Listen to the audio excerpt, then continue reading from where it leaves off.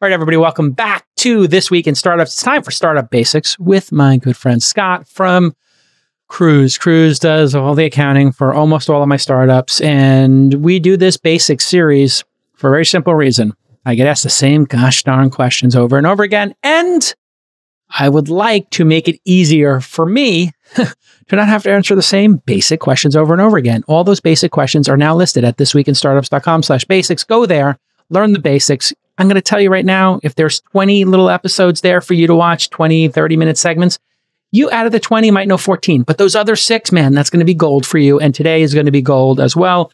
Because, Scott, today we're going to talk about how to run an early stage board meeting and how to present your metrics in a way that your investors will be more confident, trusting, and delighted and, and just understand your business uh, better. So, welcome back to the program, Scott. Thank you for having me, Jason. Well, let's get into it. What are VCs?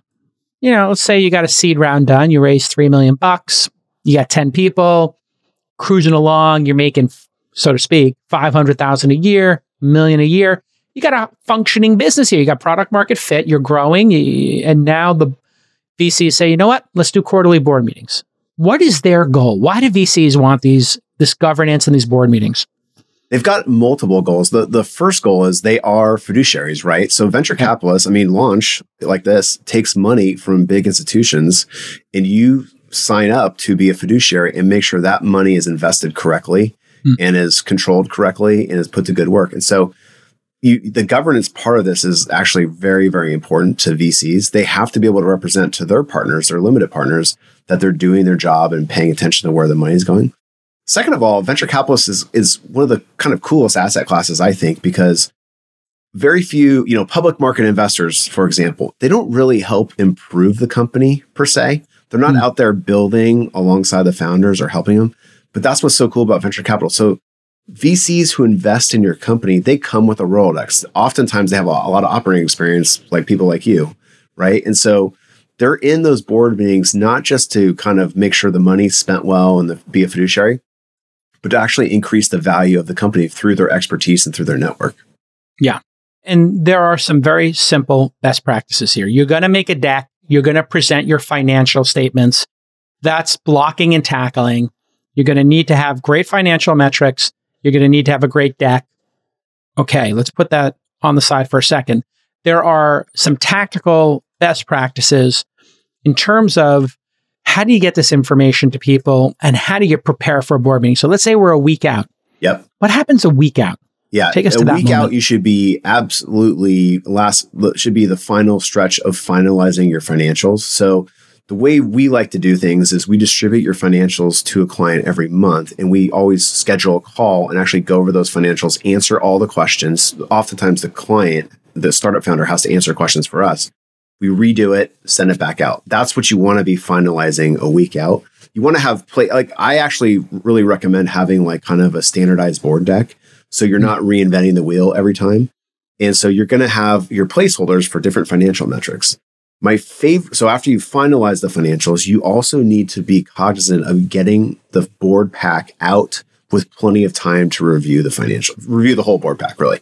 So do not be the person who sends it out at 11 p.m. the night before or 8 a.m. day of the board meeting. You want to because people- nobody's going to review it, and then you're yeah people reviewing it during the two-hour board yes. meeting Zoom call, and and that's not efficient. It also makes you look not thoughtful. Yes, yes. So we want to explain to people is how to be thoughtful. So maybe you're two weeks out, you get your first look at the financials. A week out, you polish them up, you understand them. That's important. Yes you know, you may not have, we found that a lot of our founders have never had any kind of financial experience. They don't know accrual versus cash based accounting. They don't know a P&L. They don't know a financial statement. Something Kruze will train you on, other accounting firms will, will train you on how to speak the lingo. A lot of these VCs have been looking at these things, public markets, private markets for decades. So they're more than willing to go through it, but you got to learn how to read a balance sheet and to read your expenses and understand your cost of goods, all that kind of stuff. You'll get there then hey, you send that packet out. I think three days before is pretty yeah. good number. Uh, you know, a week before, probably unnecessary. You probably have things you want to put in there. 24 hours before, not enough time. I pick three days. Let's pick 72 hours. Board meetings on Thursday, you get it out Monday. Board meetings Friday, you get it out Monday, Tuesday. You're all good. People have a couple of days, nobody can complain, right? Totally agree. And and like you said, they're going to have more thoughtful commentary Hmm. and probably not have to spend as much time on the financial segment in the board meeting. They're going to be able to focus on more strategic stuff. Fantastic. Now, there's always the uh, issue of some clever founders. I just had the call right now. It's board meeting next week. clever God. founder schedules the Friday before the next week's board meeting. We just puts catch up call. 15 minutes, sends me a link, sends me three times. This founder is very savvy. Just says, hey, couple of things I want to get your feedback on, JCal, before the board meeting. Now, I know this is not to get my feedback. My feedback's going to come during the board meeting. This is to pre socialize some issues. This is to maybe get ahead of some challenges, problems, mistakes, headwinds. Pick your pick your term here, but this is the ultimate in savviness. I agree. It's very savvy for, for two reasons. First of all, they're getting your brain working on it a week ahead of time so that you can actually be thoughtful during the board meeting. And Hmm. second of all, they're building credibility with you and, and alerting you. Often those are usually bad news phone calls in my experience. Um, Sure. Because the good news one goes out like an email like, we just signed Microsoft to a million Lighthouse dollar client, license. boom, Yeah, exactly. everything's Boom, great. We got our new hire. Woohoo! Yeah. TechCrunch wrote an article about us. exactly. We So they're building credibility and letting you know that they're going to come to you when things are have when there's a problem, which is really as an investor, that's the kind of people you want to invest in because you're again, you're there in this asset class to actually build the company, help people gui- guide them through their journey. So I actually think that's a real positive and your description of savvy is right on. Uh, okay. Let's just go really quick through some of the financial packet. We call it a packet, right? And in the packet, you got your deck. Deck's going to tell a story. It's going to be the guide, typically 20 pages. Later stage company, I've seen like 60 page decks, you know, pre public companies. Uh, and then sometimes you have subcommittees that might have a 20 page deck, the comp committee, the accounting. I was thrown on some accounting committee before a company was about to go public. And I'm like, I don't know anything about this. Like, yeah, that's why we want you there. I just want to backstop. And I'm like, okay, sure. And like, I'm okay. I'll go to the accounting committee to to to you know ask the dumb questions, which actually was great for me. Um, I was super qualified to ask the the dumb questions in that case. Um, but in a startup, you get the 20 page deck. You're going to have the minutes from the last meeting to approve. Uh, minutes. We have uh, discussions about that with Wilson Sonsini this week in startups.com slash basics. That's just what happened at the last meeting. Tends to be one page, very high level these Yeah. days. A couple of bullet points. Then you have any uh, actions you have to take, which typically is giving stock grants. But a big part of the package is the financial package. This is where you get to shine, Scott. What should be? Let's go with our seed stage company again. They raised three million. They're making a million. They got ten employees. What should be in the financial package? Yeah, and if if I may, I'd I'd like to advocate for early in the presentation, you have like the financial flash page, Hmm. which basically shows cash, average burn, length of runway, and any kind of like revenue run rate Sure. or lighthouse clients you sold, something like that. Because the reason why I like to put it early is maybe first page, second page, something like that. Is I find a lot of board board members like you are used to going to a board meeting and being surprised by bad news. And so you're kind of sitting there sometimes like waiting for the shoe to drop. And if if the founder can get that financial flash page in front of you and kind of quell that those fears immediately, like your brain your brain isn't pro- negatively processing, your brain's positively processing. Oh, great. Plenty of cash, plenty of runway. Or, hey, shoot, this looks like a problem here. Not enough cash, not enough runway. We're going to have to really focus on dealing with that, right? So I like to get it up front Love the financial snapshot. When somebody Yeah. does that, I think this person knows they're reading the minds of the board members Yes. who are wondering when are we cash out? When are we cash out? yes, Yes. And uh, are we going to be able to raise this next round? Are we spending too much money? Is this plan credible?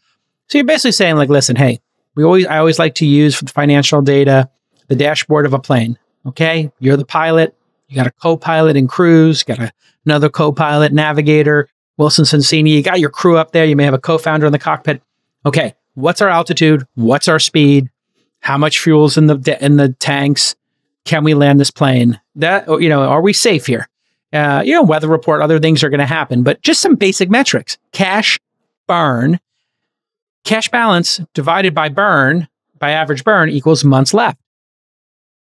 We as investors, we do this in our heads all the time. Yeah. Okay, you're burning 100 a month, you got 18, you got 1.8 million in the bank. Okay, you got 18 months of runway. Oh, wait, you have 200,000 in payables. Okay, you got 16 months of runway.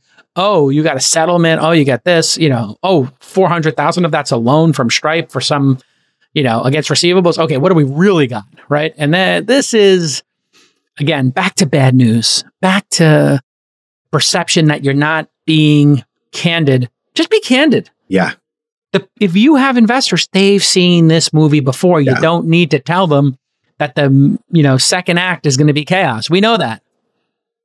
There's actually a the name movie. for it. The O S H I T board meeting. Every Yes. every VC knows that board. Meeting. That's usually right after you invested in the company. Yeah. Is the O S H I T board meeting because you get surprised by something that wasn't disclosed in diligence. Hmm. All right. So we got the financial snapshot. You like putting that up front. Get your cash, get your burn, runway, revenue, lighthouse clients. Yeah, a little Yeah. snapshot. And what are the more formal things that the investors like to see and why? They like to see all three financial statements. And I would put that towards the back of the presentation because you got to remember your board is going to be made up of like a diverse set of people.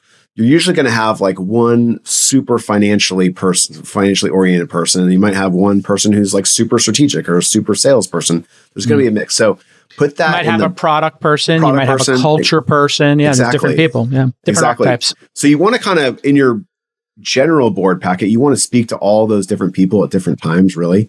But the financially oriented person is going to know, usually it's going to be in the back and they're going to be looking through the details and making sure everything adds up on the balance sheet and the income statement looks good.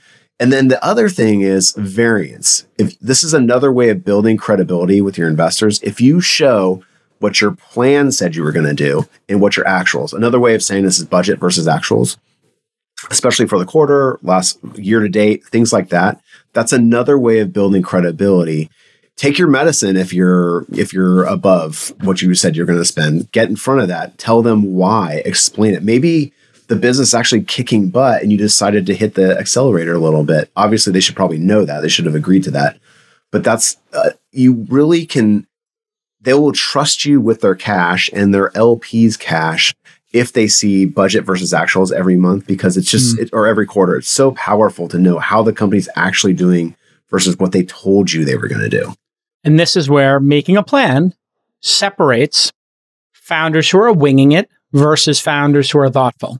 You could wing it. Like you could be a jazz musician, no sheet music, you're a savant, you just play the guitar, you're playing the drums, piano, we just all kind of groove. We have a jam session. Okay, that's great, that's groovy. But when you're going to put the album down, you're going to need the sheet music. You're going to need the track list. You're going to try to do something more formal. So sometimes in year one, yeah, you're riffing, you're trying to find product market fit, fine.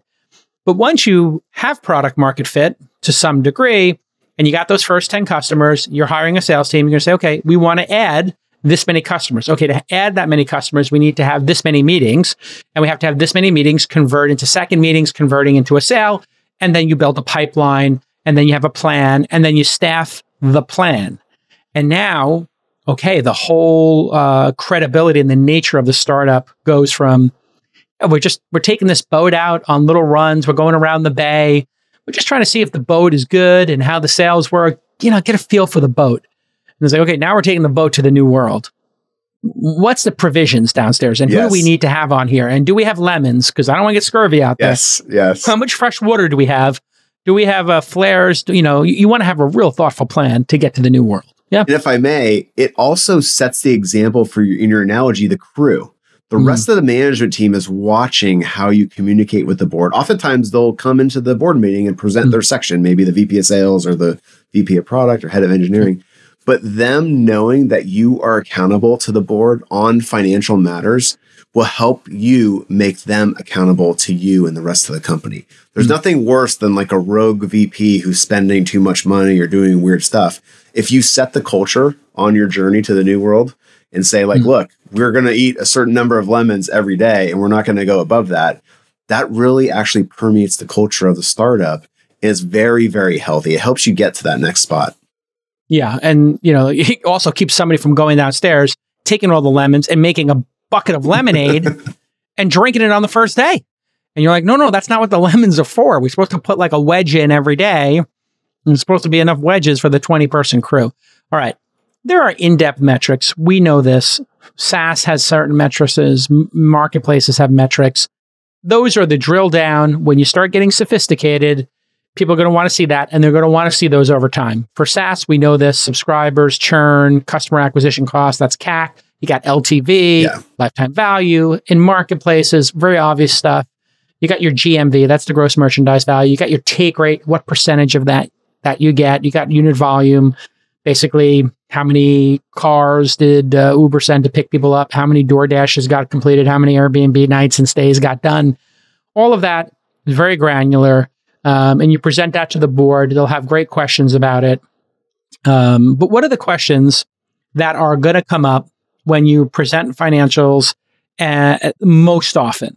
What are the most often questions that, yeah. that people start It's get? always, you know, well, it's there are going to be some scrutiny on, hey, is revenue growing fast enough? Is what's what's in here? What's in this number? Is our gross margin accurate? Hey, why is marketing? Let's go into that one. So gross fast? margin yeah. being yeah. accurate. Explain what gross margin is and why so many let's call them salty dogs. You know, they they've been out on a lot of voyages. They really care about gross margin. Why, why do we care about that, you salty dogs? Yeah. yeah. Gross margin is your revenue, your minus the cost of delivering the service. And the reason okay. why people care about that is if you're in a high margin business, aka most software companies are high margin, think Microsoft, Google, something like that you've got a lot more money in the kitty to play with mm-hmm. once you've delivered your service. You can spend more money on marketing. You can mm-hmm. spend more money on research and development. You can have a better, better operating team, right? So mm-hmm. a high gross margin hides a lot of sins. And yes. so investors like that. They also high mar- high gross margin companies tend to trade at higher enterprise value multiples. So mm. as you grow as a company, and you start raising money, the VCs know that, like, hey, this company's going to trade at a much higher valuation eventually when it gets public.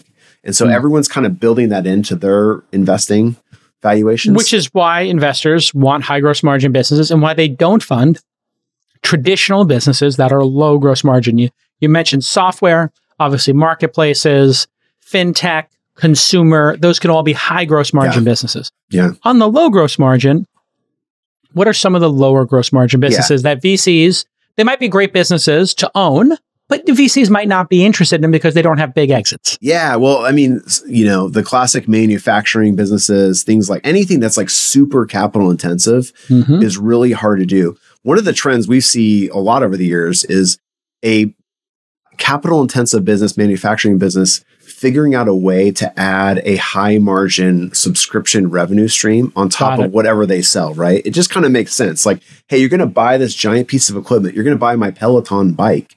But guess what? You're going to pay 40 bucks a month to subscribe yeah. to Peloton, right? That was that's, you know, that's the way to get VCs interested in capital intensive businesses to layer on that gross margin subscription and prove that there's a lot of value here and people are willing to pay for it you just dramatically change the margin profile of the company when you can do that. When you're selling a one time object, be it a phone or uh, a sweater, a toothbrush like Quip, you know, there, there's plenty of D2C companies out there. What we found with D2C companies were most of them uh, were a race to the bottom. Somebody comes out with a really unique product in the world, it gets knocked off, gets knocked off. Uh, and then all of a sudden you can buy it on these Chinese e-commerce sites, yeah. Temu, whatever, Alibaba, Baba, whatever, and you can buy it at such a low price that hey, the Dropcam that was once a four ninety nine product is now a four dollar product or a fourteen dollar product. And so then what is drop cam's business? They were eventually became Nest, bought by Google. The Nest Cam eventually becomes a subscription business. Yep. And you're paying for, you know, how much storage you have, et cetera. So you, you, you really got to be careful about those businesses, services businesses like the one you're in, yeah, or you know, uh, accounting, legal. These are the professionals in these get compensated quite nicely. It's some nice coin, uh, some of the best gigs you can have, uh, and one of the most stable gigs. However, oh, they don't get sold, right? Generally speaking. And if I may, there's a there's a cottage industry in people trying the, the gross margin thing is really important, making sure that's fully loaded and accurate because there's a lot of VCs out there who've seen this game where people try to load costs. They kind of move mm. the cost around and they move it down into operating expenses. even though it's actually a cost of delivering the service, a cost of Yes. goods sold. So all the investors out there are nodding their heads because they've seen the services business that comes to them saying, no, no, no, we've got this really high gross margin. We're going to be amazing. And they look one line down and the Mm. operating expenses are exploding and chewing up tons of cash and the company can never really be profitable. They've just didn't the hide, hide the hide the nut, hide the the eggshell Yeah. kind of thing. So just be careful of falling into that trap yourself and pl- play it straight. And if you're coming up with a low margin business, we'll figure out how to make it work besides accounting chicanery. So if uh, let me ask a very basic question. Hey, I'm building software. Okay, we got a sales team that's selling it. Uh, we have some marketing expense. We have some developers, and then we have the cost of training. How does somebody make the decision that that is the cost of delivering the services, or that falls below those costs? Uh, what I guess they call COGS. Yeah. Uh, so, uh, so how do you make that decision? Yeah. some, I've seen people make decisions that R and D is not in there, sales is in there, mar- this marketing's in there, that marketing's not in there. Uh, take me through it. Yeah, I usually don't put R&D in the cost of goods sold except for engineers that are doing, you know, support or actually keeping the product up. And quality uh, QA could potentially be in there too. So you usually research and development is going to be down below in operating expenses, and ven- venture capitalists are used to that. They're used to seeing a lot That's of money. because those are not direct costs associated with delivering the product. Exactly. They're building the next version of the product, right? Right. Or the, whatever the delivering improvements this are. one. Yeah. So delivering the product might be like your Amazon Web Services. You might have some support costs in there. One thing Mm. that I see people kind of innocently mess up, and I, it, this is why I bring this up, is sometimes a lot of times at startups there'll be someone who's doing uh, support and HR, and they're also uh, handling lunch every day. They're handling five jobs, right? And one of those jobs is support. Uh, in the early days, do not load that full person's salary into One fifth. cost of goods sold. Yes, allocate it exactly. Yeah. I see companies. this is the discussion you have to have with the founder. So when you go over their reports every month and they say, "Hey, you, you I see we added this month fifty, oh, seventy-five thousand dollars in customer support staff. Who is that?" And you say, "Oh, that you know that's Steve." And it's like, "Oh, Steve? I I thought Steve was also doing the lunch and, and managing the office and this, that, and the other thing." And oh yeah, yeah, no, no, but he does customer support too. Like, okay, well, how often does he do it? Oh, 10% of his time. Great. So we'll put 7,500 in there. So you get an accurate picture of what is the cogs, the Yes. cost of goods. Yeah. you could unintentionally scare venture capitalists away by doing Sure. that incorrectly and having like a terrible margin. And you said the salty dogs, they they know they're like, wait a second, a SaaS business should be like 60 to 80% gross margin. Like, why Hmm. is this one so out of whack? I'm just gonna pass, right? And so you don't even get a chance to explain yourself if you mess that up. Yeah. So your hosting fees, obviously, that's part of it. Your software licensing fees. Sometimes you build software, you got to Yes. buy yes. somebody else's software and put it in there. You got the, maybe you have cloud storage. Maybe people are keeping huge data sets up there. You got a big cloud storage bill that goes in there. Uh, if you're maintaining this software, the maintenance of the software could go in there. I've seen that go both ways. Yes. Um, and clearly, any customer support, customer success teams go in there because when you sell it, the customer support team has to go in and implement it on the ground. Wh- whether that's happening in person or not, it could be virtually on the ground, but Yeah. you get the idea. Yeah. And I'm just talking about. SaaS right now. Um, if you were doing Uber uh, or DoorDash, if you had insurance for Mm. that business, yeah, because that's it. I was talking to Dara from Uber. He was lamenting the cost of insuring Uber drivers, very big part of their expense. Yeah. And that is a classic COGS. You would put that in COGS. Cost of delivering it. Where would you put insurance? This is like That's one I was that- well, wondering. you know, for Uber, it might be in COGS because Yeah. it is part of delivering the service. Like that's a really good question. yeah. That's actually one for Dara's uh, Dara's Mm. controller. Well, look it up. That- but if you that- had, but, but, if you had general liability or director's insurance, that's not yeah, COGS. that's operating expenses. It's- that's Yeah. operating expenses. Obviously, that's for you to operate the Yeah, business, right? yeah, so we got G&A. that. Yeah. That's G and A, general and administrative. Yes, exactly. Right. Okay. So now we understand that this is the the back and forth that Scott and I are having. The reason I'm asking these basic questions is because this is what you need to do as a founder. It's your responsibility to understand this stuff. Once you understand this, you understand it for life. You understand it for life. And so just invest a little bit of your time in professional development, everybody. Watch Startup Basic Series. Anything we miss here that you think should be included in these board meetings? We really went deep. Uh, I just I just think your point about socializing mm. and getting ahead of bad news or getting ahead of a big decision is really really good and you mm. couple mm. that with having the deck done early sent out early so people can make informed decisions that's how you get the best out of your board mm. and i don't think there's any entrepreneur who accepts investment from it and like they all want feedback they all want a yes. guide on their journey and so help your guide be their best help them help you why take external funding from people you respect and not get their feedback? Yeah. Yeah. Crazy to not get their feedback. They're yeah. there waiting to give you feedback and use them and say, I wanted to go through this with you. I'm a neophyte when it comes to legal issues. I'm a neophyte when it comes to balance sheet. Is there somebody on your team at Sequoia, at Kleiner, whatever, at Craft Ventures who would spend an hour with me? And they'll be like, spend an hour, come by the office, spend the day. We got a curriculum here to go. Like if you ask Stacks, hey, you know, I'm a first time SaaS founder. I got 20, you know, customers. We're, we're doing cash based accounting. I don't know what I'm doing, but uh, I know that people love my product and I understand my customer. Like that's their perfect situation. Yes. Yeah. That's their perfect situation. Oh, we can teach you that. That's like you coming in and being like, you know what? I know how to make the perfect omelet. I make a perfect steak. I've never baked. And they're like, you never baked.